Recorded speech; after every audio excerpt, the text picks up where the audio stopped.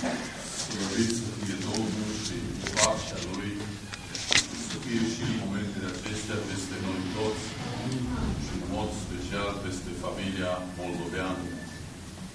Mulțumesc lui Dumnezeu care ne-a făcut parte ca și aseară și astăzi să putem fi alături de dumneavoastră, iubită familie, care, așa cum a spus fratele care a vorbit înaintea mea, o familie care ne-a iubit, ne-a primit, undeva ne ascultă la telefon un băiat care des venea aici, este la Institutul Emanuel, Andy Șogher de la Oradea, și el spunea, frate Petrică, știi de ce ne ducem noi la familia moldoveană? Păi zic, care e părerea ta?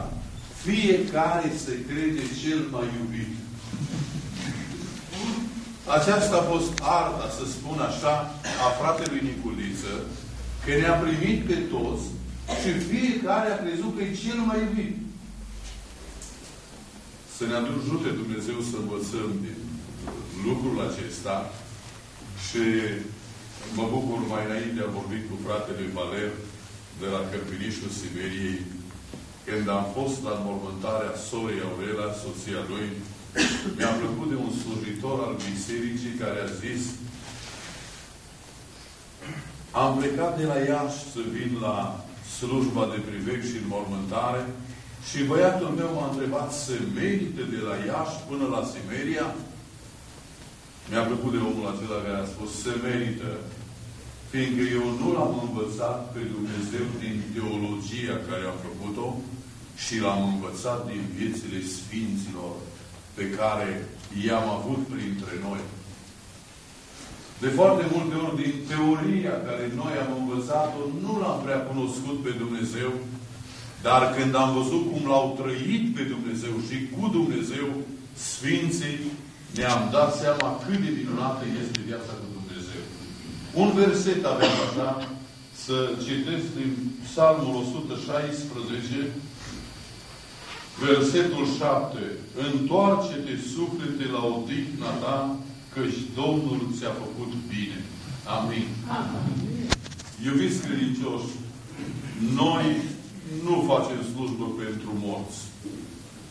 Tot ce a trebuit făcut pentru veșnicia celor care au plecat și au făcut ei înainte de plecare.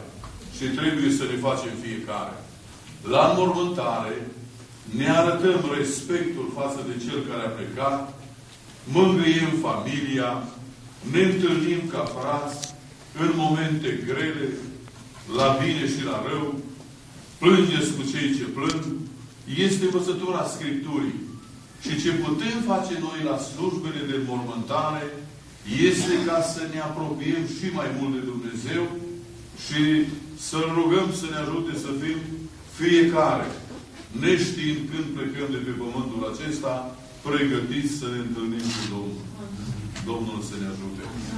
Că când am fost la înmormântarea fratelui Nicoliță,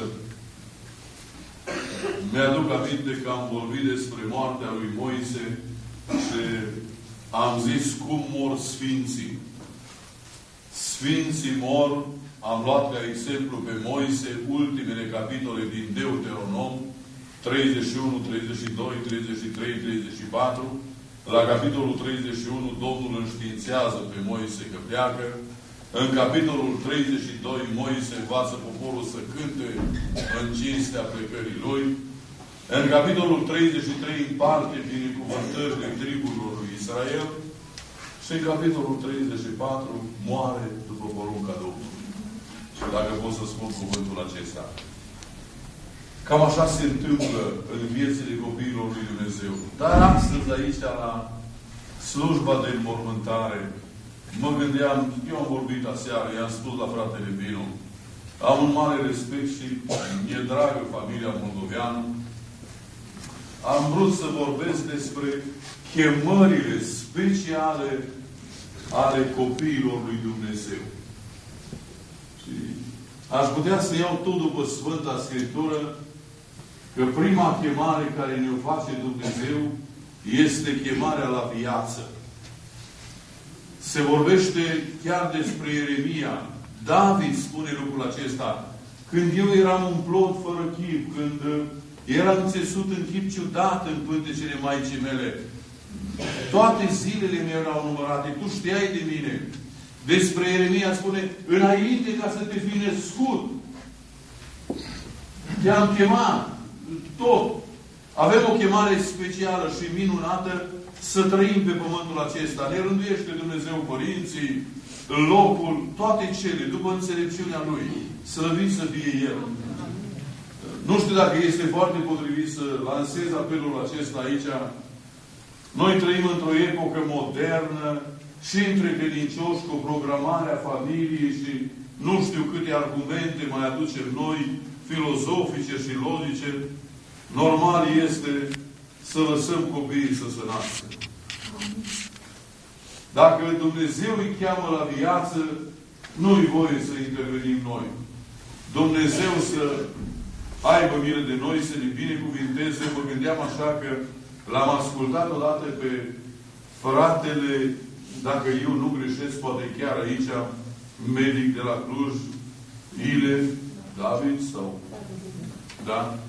Și el a spus că era al șaptelea în familia dumnealor și când s-a dus mama la medic, a zis, numai dacă ești nebună. Mai n nu știi cum e tata, nu știi cum e, ești de așa bolnavă și asta. Dar Dumnezeu a îngăduit să fie totul bine. Să știți că cel care se naște pe pământul acesta se naște cu binecuvântarea Lui. Cu pătrățica Lui. Fiecare Domnul are grijă de toată suflarea.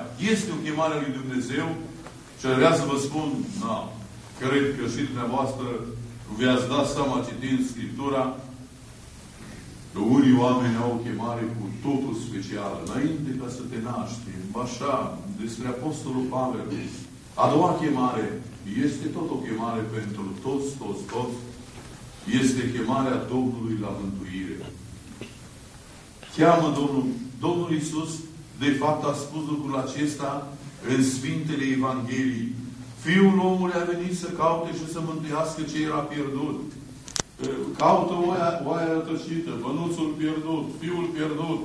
Îl caută pe Zacheu, caută femeia păcătoasă, de care vorbea fratele mai înainte. Și a căutat pe toți fără deosebire. De asta noi îl iubim pe Dumnezeu, că El n-a făcut separare, nu? Dacă trebuie să fie angajat undeva, trebuie să ai, să te încadrezi în regulamentul firmei, a pretențiilor patronului. Numai Domnul Iisus zice, veniți la mine toți. Eu am venit pentru toți. Încă această chemare răsună și în ziua de astăzi și considerăm că toți cât ne-am adunat aici am răspuns acestei chemări. Și cred Că mai sunt poate și unii care n-au răspuns. Să răspundeți chemării acesteia.